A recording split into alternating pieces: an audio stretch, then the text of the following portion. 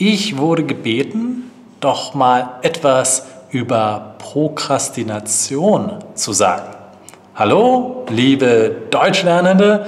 Heute geht es, wie gesagt, wieder um ein Thema mit Bezug zur persönlichen Entwicklung, also Prokrastination. Das ist ein schwieriges Thema und äh, viele Leute haben ja Probleme damit. Ja? Viele Leute haben das Problem, dass sie etwas immer weiter hinausschieben. Ja? Sie schieben es vor sich her und äh, tun es nicht und äh, fühlen sich schlecht. Sie prokrastinieren und ähm, wie kann man dieses Problem lösen? Nun, ich habe mehrere Gedanken über dieses Thema. Ich bin kein Experte. Ich prokrastiniere selber manchmal. Insofern ist das ein Problem, was ich selber auch habe. Aber hier sind ein paar Gedanken ähm, für dich, die du dir auch überlegen kannst. Und sag mir bitte, wenn du noch mehr Gedanken hast, schreib sie in den Kommentaren. Ich bin gespannt, was du denkst. Also ich denke, ähm, es könnte sein, dass Prokrastination so etwas wie ein passiv-aggressiver Widerstand ist. Ja?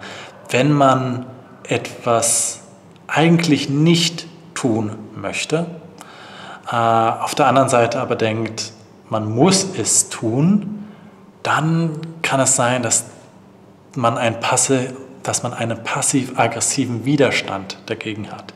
Dass man Dinge unternimmt, um es vor sich herzuschieben. Ja. Das nennt man auch die Rache des Sklaven. Ja. Wie kann sich ein Sklave rächen?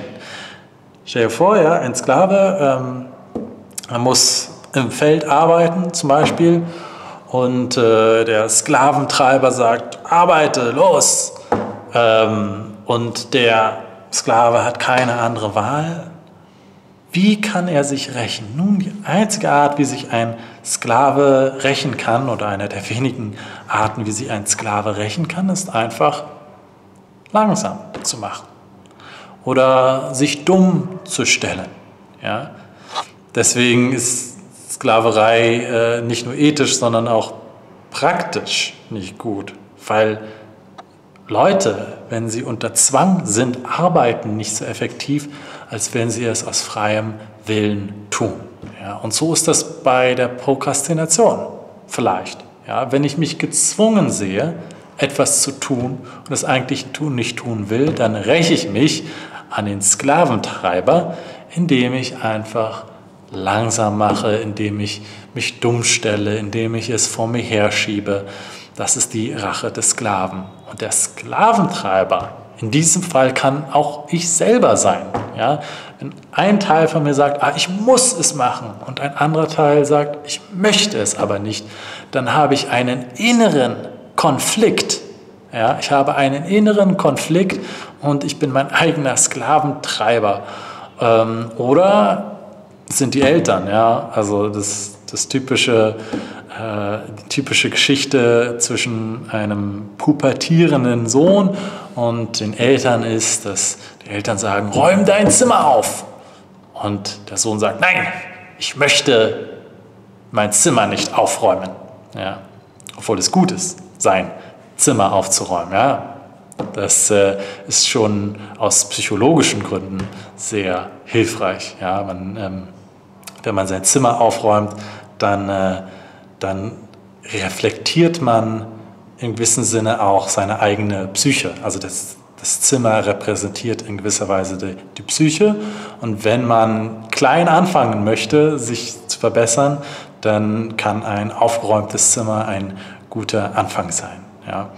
Und äh, manche Leute wollen ihr Zimmer nicht aufräumen und deshalb prokrastinieren sie es weil jemand anders sagt, also zum Beispiel die Eltern, ja, die Eltern sagen, räum dein Zimmer auf und dann ist das aber von oben, ja, also von, von jemand anders kommt das und nicht von mir selbst. Und das ist auch der Grund, warum ich denke, ein guter Weg, Prokrastination zu vermeiden, ist sich zu fragen, was möchte ich wirklich tun?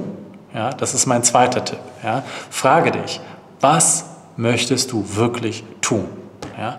Was sind die Vor- und Nachteile von dem, was du tust? Ja? Denn vielleicht gibt es auch Vorteile, wenn du prokrastinierst. Sonst würdest du es ja nicht tun, ja? rein psychologisch gesehen.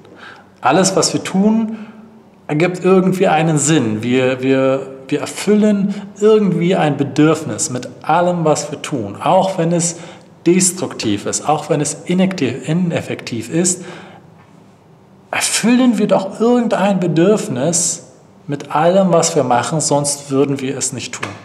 Und so hat das Prokrastinieren vielleicht auch Vorteile. Ja?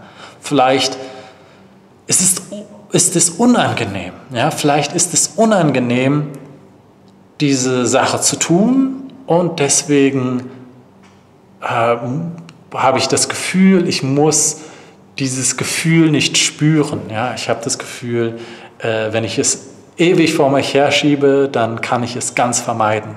Ja? Oder ich mache andere Dinge, die wichtiger sind. Ja, das ist auch ein Vorteil des Prokrastinierens. Ja, es gibt zum Beispiel so eine Idee, ähm, ein, das Konzept des strategischen Prokrastinierens. Ja? Prokrastinieren im guten Sinne, weil es manchmal Vorteile hat zu prokrastinieren. Wenn ich zehn Aufgaben erledigen muss und neun sind nicht so wichtig, dann prokrastiniere ich die neuen Aufgaben und kümmere mich um die eine Aufgabe. Ja?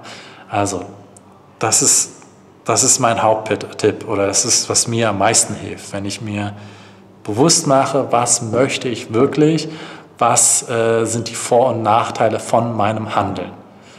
Und manchmal hilft es auch einfach nur mal eine Pause zu machen und tief in mich zu gehen, vielleicht mal eine Minute oder zwei zu meditieren und dann sehe ich die Dinge vielleicht klarer und dann komme ich vielleicht auch den Impuls zu sagen, okay, ich mache es jetzt. Ja? Ein weiterer Tipp ist auch, es zu einem Zeitpunkt zu machen, wo man keine Ablenkungen hat. Ja? Zum Beispiel gleich am Morgen. Ja? Als erstes am Morgen mache ich es. Das ist auch ein Weg, um Prokrastination zu vermeiden, weil es dann keine Ausrede mehr gibt. Ja? Du musst Ausreden vermeiden. Ja? Du musst sagen, äh, ist das eine Ausrede oder ist es tatsächlich ein Grund?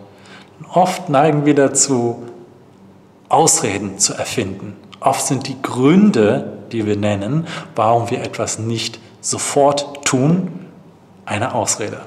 Also, ich hoffe, dies hilft dir, Prokrastination zu vermeiden. Was möchtest du wirklich?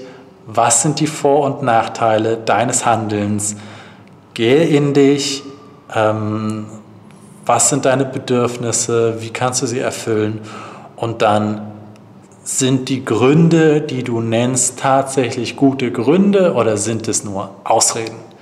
Das sind meine Tipps bezüglich Prokrastination. Danke fürs Zuschauen. Ich hoffe, es hilft.